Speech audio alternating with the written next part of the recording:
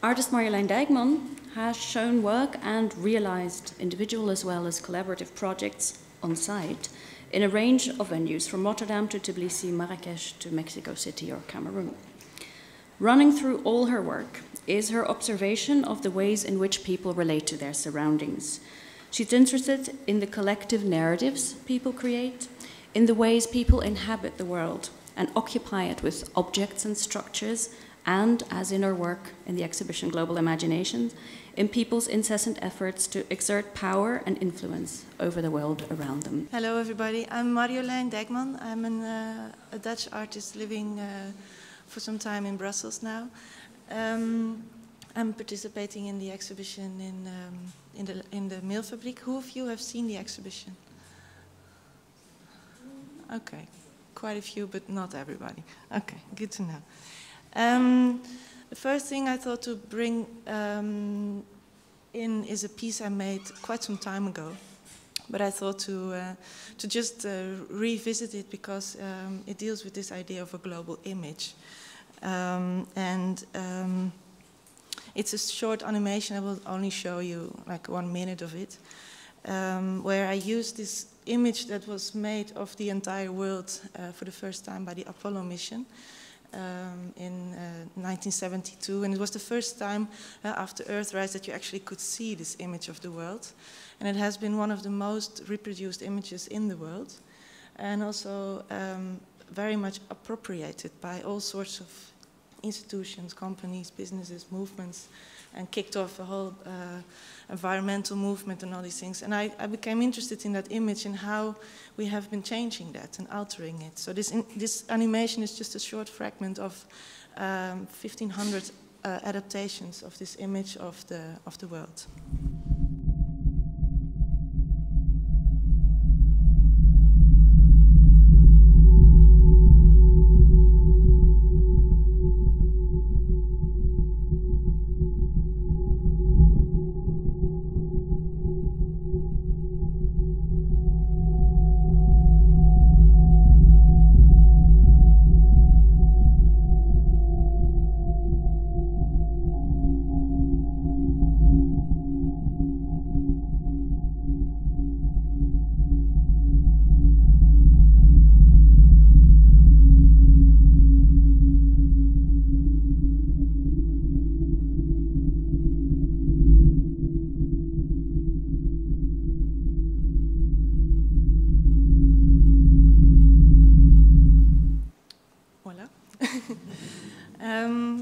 I found very interesting was the huge amount of hands touching the globe. Like we really like to hold it on our finger and wobble it around and touch it, like it's a size that we can handle, you know?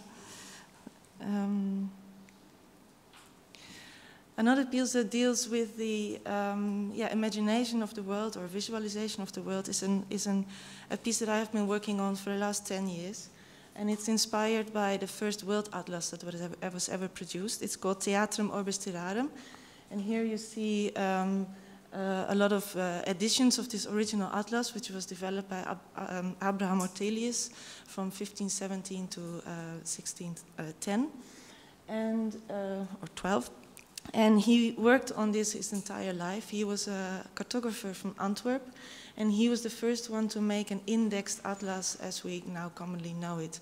So he collected all the maps from explorers um, and bound them together and created this ongoing shaping of the world. Um, and he, uh, what I found interesting is that he, he himself didn't travel very much. So he was in charge of making this first world atlas and representation of the world, but didn't really know what it looked like. So um, in uh, in some versions you see still you know parts of the world having strange shapes and uh, coming together. And of course this was very much used by uh, uh, all the pol political and navigation and all the implications of it. And um, for instance countries that were not accessible or that they had not, not a lot of knowledge about they would make a lot of illustrations um, because they didn't really know the, the, geographical data. So there was a lot of imagination going on in these maps.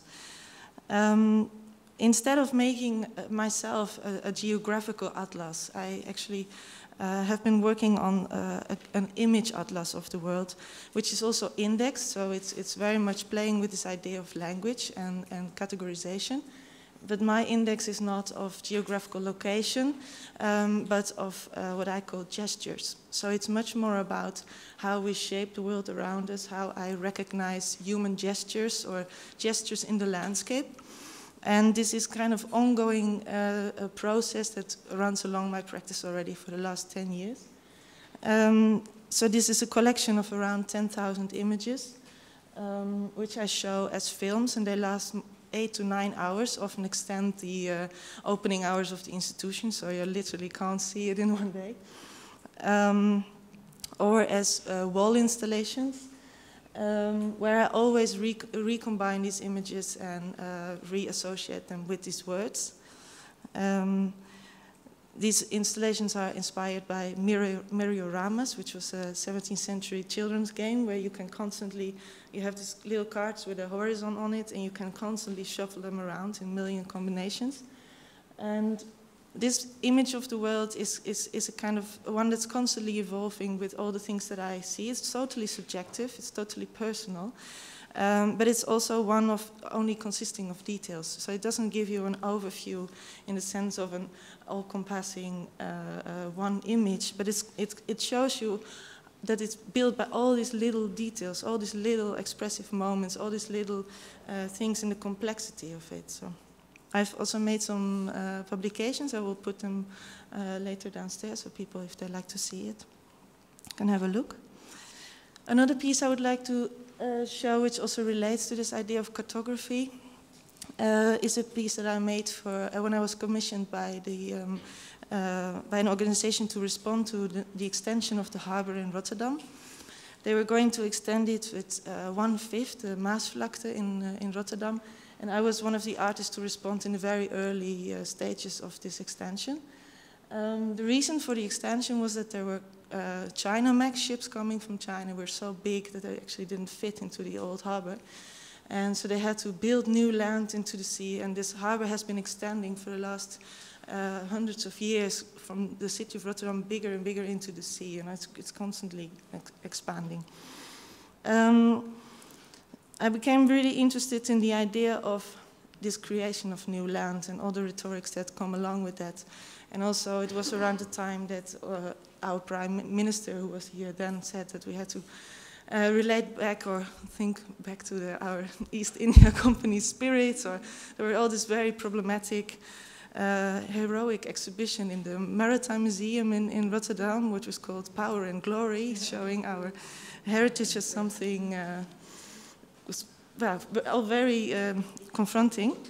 Um, but I, I, got fascinated by these old drawings that people used to make when they uh, discovered new land. And they made these kind of coastline profiles where they made notes uh, where to land next time when you come back to that place, or where to make the harbor, or where the good tribe was, or you know how to navigate again to this new land. Um, so what I did was I Oh, and I thought to also show this.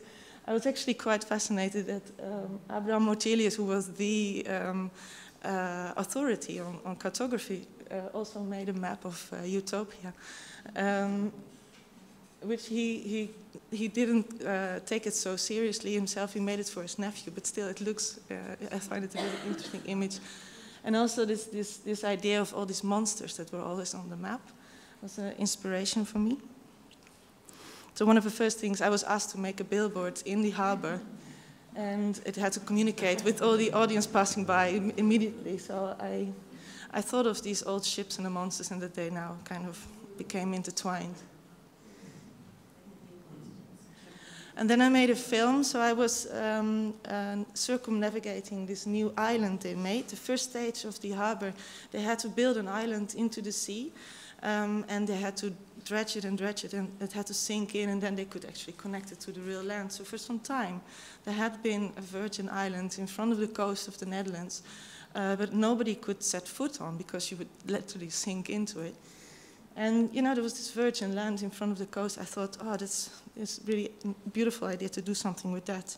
So I actually made a film, and I will show you. It's more than 20 minutes. I will just show you a short fragment of it, um, where I show you this new land. I don't go on it, of course, so you're looking at it and you hear fragments from all different films uh, that I collected sound fragments where people are discovering new land or they're um, uh, marooned on new land or they're pirates, you know, going to uh, bring treasures there or there are all this kind of colonial and historical narratives that are uh, coming along with this new land that I actually projected onto this new Dutch uh, land. So.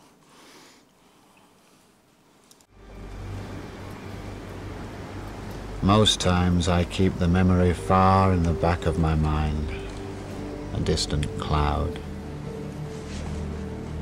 But there are times when the little cloud spreads until it obscures the sky.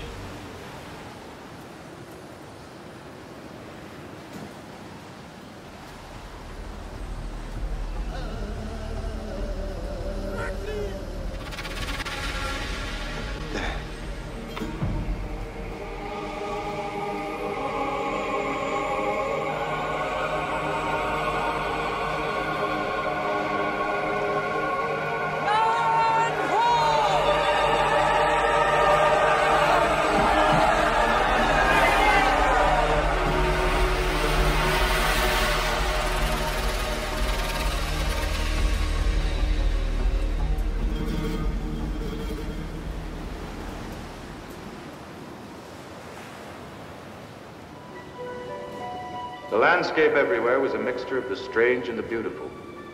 Volcanoes surrounded by tropical palms and sandy beaches. A riot of wonderful hues and fantastic colors. And except for that fire we found on the first day, there was no evidence that man had ever set foot here before.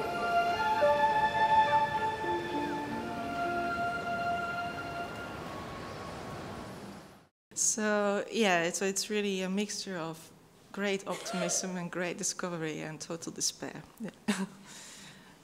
um, the next piece I like to show relates very much to that, to film um, imagination in, in film, um, but more to science fiction. Um, this one was commissioned for the Sharjah Biennial in the uh, United uh, Arab Emirates, um, where um, I was invited to, to make a new work, and often when I go to make, make new work, I do site visits and I um, have some research time in front in advance. And when I arrived the first time in Dubai, I, it was before the crisis, 2006. I don't know the situation right now, but then everywhere were these amazing billboards announcing the future city. Um, like here, uh, in this really hot environment. Um, uh, but the, the city that was announced uh, wasn't really appealing to me as a city that you know you would really like to live. Um, here you can see, I don't know if it's sharp, but you can literally see zeros and ones dropping from the sky, um, which I immediately thought was a reference to the Matrix, which made me really wonder, like, why would you announce a city here in this desert referring to the Matrix and this science, science fiction language, you know, where does it come from? And um, yeah, I got really fascinated by that, and I also found out that actually in Sharjah, science fiction was not really shown because of the um, censorship there, and um, you know, film was really precarious uh, topic anyway, so a lot of things were not really accessible. Um, but so I thought to explore that, and I, I even found this. Uh, cinema in the middle of the desert on, a, on the border with another uh, emirate where Pakistani and Indian workers would go to watch Bollywood, Bollywood movies because they were forbidden in the city. So it was really something in the margins of the society. Um, so the first thing I did was I collected as many films that I could find. So this whole project focused on science fiction and film, not in fiction. So it's very different, I think. Um, the first thing I did, I collected as many films I could find and I placed them on the date that they are actually staged. So not when they are produced. So this timeline then started in 2008 and ends in 800,000, 2701. Um, and I made this little cabinet I was inspired by uh, the, the, market situation where all the people had fortune tellers and magicians and were selling their goods. And I thought I want to be in public space so people could actually go into this, to this piece. And so I made this uh, uh, place where you could watch a film, a one hour movie. um, that takes you through all these different scenarios. So it's a one hour film, and you always mentioned in what period of time you are. Um, something that I discovered, what I found very fascinating, is that you can see um, the top one, top one is the um, uh, Arab timeline, and the, uh, the, bottom one is the English timeline. So if we use um, the timeline that we, that we uh, understand here, we take the English timeline, you see that in the beginning there's lots and lots and lots of dates, and the more you go into the far future, uh, the fewer dates you will find. Um, also, the more recent films are all staged in the near future, and the more you go into the uh, far future, the more you go into the past of science fiction, I found out. Um, something interesting that the future, oh God, uh, the future kind of has uh, shrunk uh, in my, my idea, and I thought, yes, okay, so now we're living in this science fiction. So, um, five minutes. um, something that also really struck me was this idea that most of these films were produced in industrialized countries. Um, and that science fiction is, uh, all these films were all negative. I couldn't find a single positive about a uh, film about the future. Um, and that they're all, when you talk about global imaginations, all these movies, most of them, they all have this global scenario. The whole world will be an ice age, the whole world will be invaded by aliens, the whole world will be a desert. And there's never this kind of local dispersion that we kind of understand in our reality. And it's something I'm still busy with in my work. I also made, uh, to come back to this billboard, original inspiration, I made this billboard, a chroma key uh, billboard um, in the Heritage Museum that was built for future tourists. So it was a reconstruction of uh, how you used to live a future tourist. So it's already a time machine to yeah think about all the kind of more localized uh, future scenarios. Okay, then um, what I will do is I will, and I will just say um, very few words about Enough Room for Space. It is a platform that I founded with my husband 10 years ago. And we uh, take long time, uh, we work on long-term projects with other artists, research projects and exchange projects. Um, and amongst others, we've been working now for the last nine years with artists in Cameroon, for instance. And um, we have a place in Brussels that we use as a home base, and we work with other, other institutions to realize our projects. And um, during one of the projects, the one in, in Cameroon, we, we did something during the independence celebration in 2010. I thought to bring in as well for the conversation. It's um, my husband Martin together with Alioune Moussa, and they made a, a project with um, T-shirts that people had to, um, two pairs had to uh, choose one T-shirt, the one they uh, felt connected with, and they had to tell about what they think independence means. Um, but something that struck me as well thinking about globalization is that actually this word globalization was in the dictionary introduced in, uh, for instance, in 1951, and it was very commonly used in 1960. And I started to think like, ah, okay, you know, you have the independence of all the countries, so you can't use colonial anymore, uh, imperial. We need a new word. So basically, now we have globalization. Um, that's something I wanted to bring into the conversation to today. Um, and I want to end with the work of an artist we are currently working with, Jean Katambayi, um, artist from Congo, living in Lubumbashi. His studio is this, but then multiplied with lots and lots of inventions he made. This is called Trotation, and um, this machine is supposed to have a world-changing uh, effect, um, because he says that you know the world is uh, going around the sun, going around its axis. But you up in the north, you move very fast. We are on the equator. It takes us an enormous amount of time to go around. And we're really, really tired. Everything goes very slow here. So he made a machine to actually make a third rotation, rotation, so that everybody will spin at equal speed and development will be develop, uh, spread around more equally. So, okay. Thank you.